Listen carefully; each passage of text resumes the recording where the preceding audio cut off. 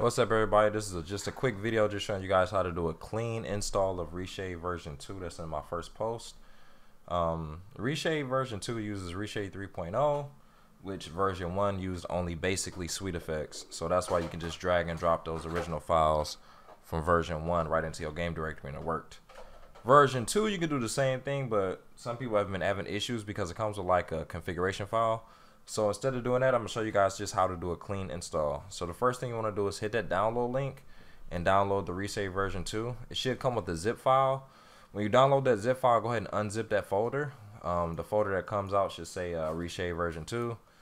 Um, once you have that on your desktop, go ahead and find the Madden, your Madden game directory. The easiest way you can do it is just by, if you have the Madden um, shortcut on your desktop, if you right click on that, go to open file location, it should automatically take you right into the game directory. Uh, once you're here, go ahead and open up that Reshade version 2 folder that you unzip. And you can you can basically put them side by side. I know that the aspect ratio may be a little bit weird because I'm, playing on a widescreen monitor. I have a widescreen monitor set up, so um, I know this ultra wide may look a little weird, but hopefully it's good enough for you guys to see it. Uh, once you have that folder open, go ahead and copy everything in this folder do a copy.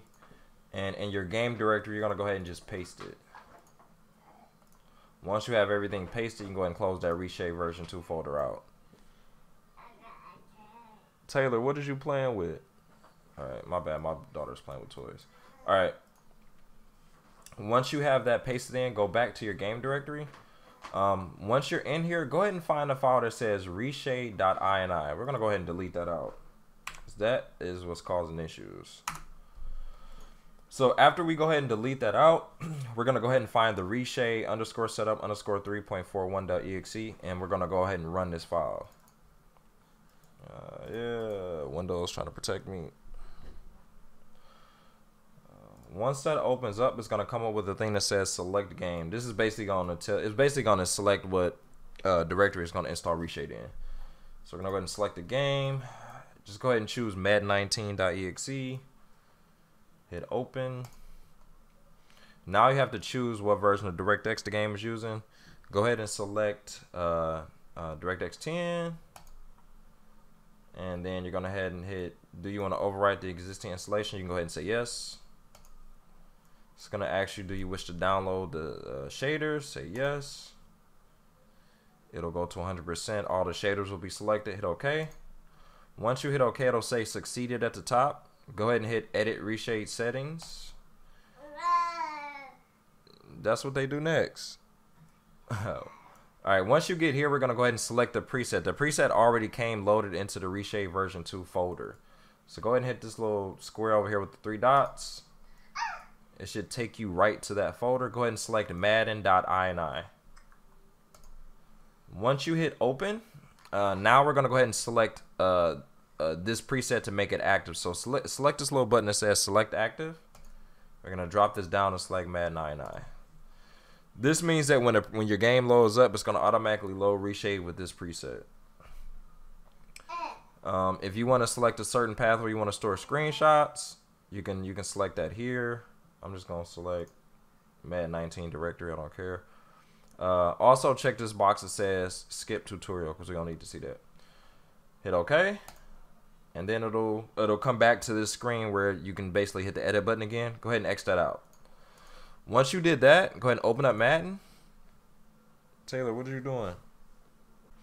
And you'll notice when Madden is loading up, it's going to load all the effects and everything. This is what you should see at the beginning um, after you load it up.